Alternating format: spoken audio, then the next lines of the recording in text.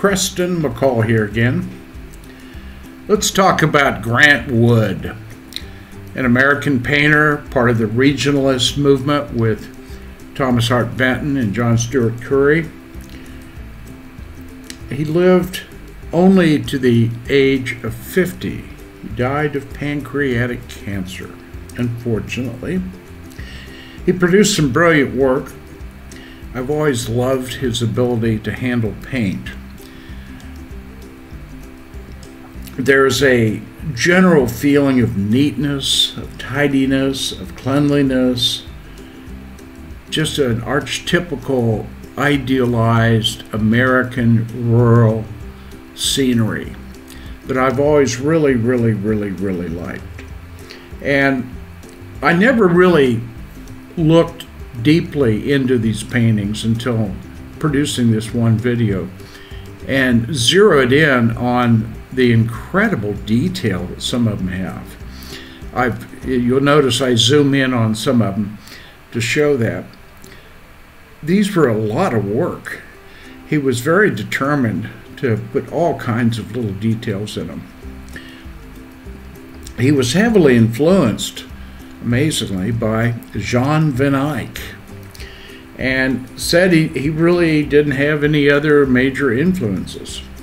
Although we know that with Curry and with Benton, they got together and talked about rural life and talked about the, the story of painting during their time. And so he, he produced a lot of prints through a company, I think in Emporia, Kansas, lithographs that they sold everywhere. And he was quite successful with that. But his paintings were uniquely his.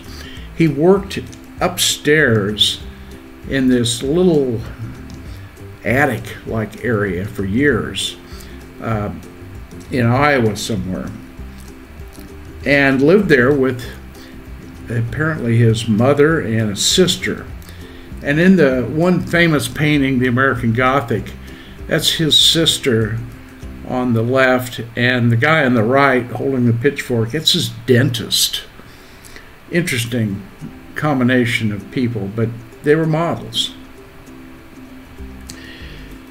One thing I noticed about his work, he has very strong shadows. The sun is always very bright, and he really articulates the shapes and the scenery in a very soft and wonderfully warm way. I can't say enough about him. I really think he was a wonderful painter and incredibly detailed. His life was a little crazy.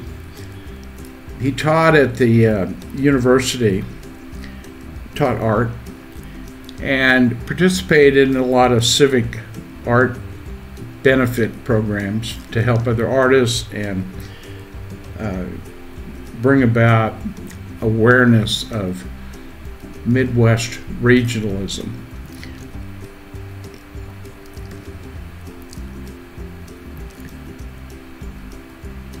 I think the incredible scenery, the clouds, the barns, the people and what they're doing. He tells a story that's it seems to be so obvious, but then you look a little closer and there's always a few little surprising details.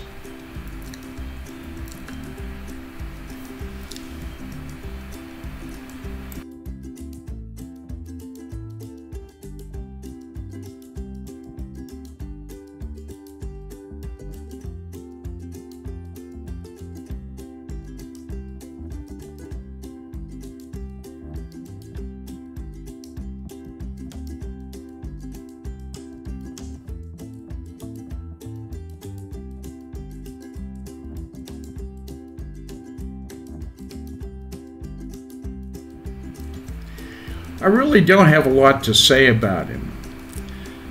I think with Grant Wood, I just like to look at his work, zero in on some of the details, and get a general feel for what he was trying to do. some of his paintings truly are just masterful. I mean, and you zoom in on some of them, and just the little zoom ins are a painting in themselves if they were cropped out.